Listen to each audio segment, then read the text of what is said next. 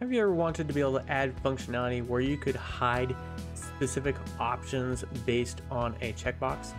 In today's video, I'm going to show you how to do just that, where you can toggle showing or hiding specific options.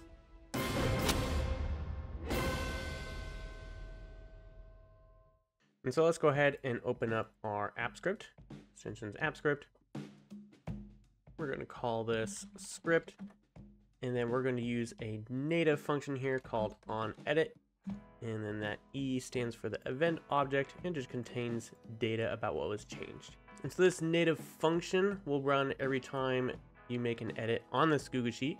And so we can get data from what was changed, for example, the tab, the row, the column, and the value.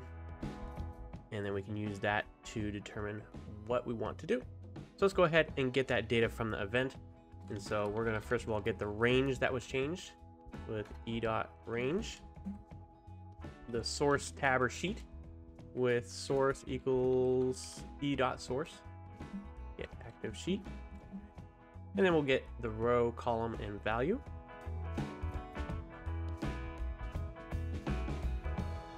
And then with that data, we can now determine what we want to do. So first of all, we only want this to run if this is checked. And so this is row one and column one, two, three, four, five. So let's go ahead and make a if statement. And then the code inside here is only going to run if this is true. And so we're going to do row is equal to one and column is equal to, I believe is five. One, two, three, four, five. Yep. And then also if value is equal to true. We only want to run when it's true. Now we're actually going to do another one here when it's false. And that's going to be our toggle. And so this would be our hide and this would be our show. And so for our hide code, we need to be able to determine what ones are dead. And so we're going to get this column here and so to be able to apply this, we need to know which rows have dead in this status column. So we need to get these values in this column and then iterate through and hide the ones that match dead. And so we'll go ahead and do that. So this is column six and starting in three.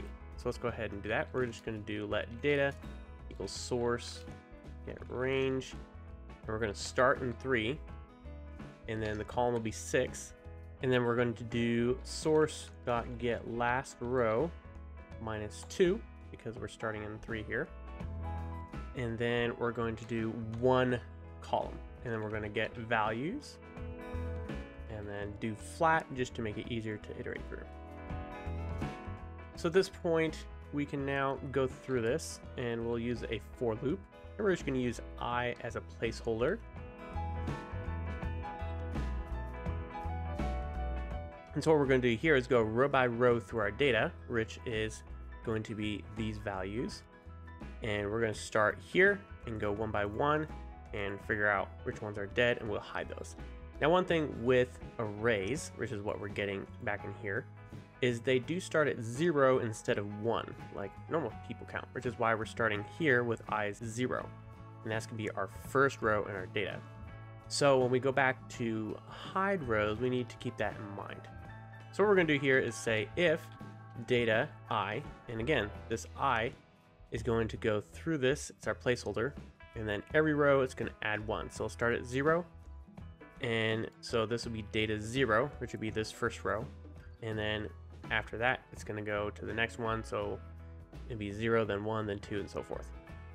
So this is what allows us to then say, is this equal to dead? And if so, then we can hide that row. So we'll do source hide rows. And again, this i, if this first row was dead, this would be i would be zero, so we need to add three to it. So we're going to do i plus three. And that's going to give us our rows that we want to hide. So let's go ahead and check this out. Can see it went through and hid all of our dead rows and you can see where those got hidden right here on this left hand side. So this would be kind of a pain if you went through and hit all these rows and had to show them all. And so what we're going to do is use our script here. And so this is if we uncheck it. And then what we're going to do here is a simple line of show rows.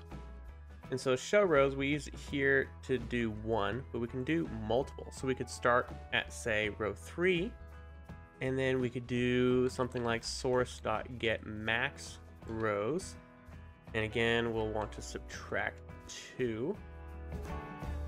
And then this should run now if we uncheck this. And there we go. Now it just unhid them all. So now if we toggle this again, it'll rehide and uncheck and it'll reshow. Alright, so that is it for today. Make sure to check out the other videos on our channel for more tutorials on both Google Sheets and AppScript. And as always, have a great day.